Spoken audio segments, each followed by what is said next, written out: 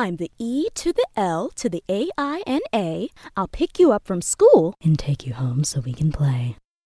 I'm Mommylicious.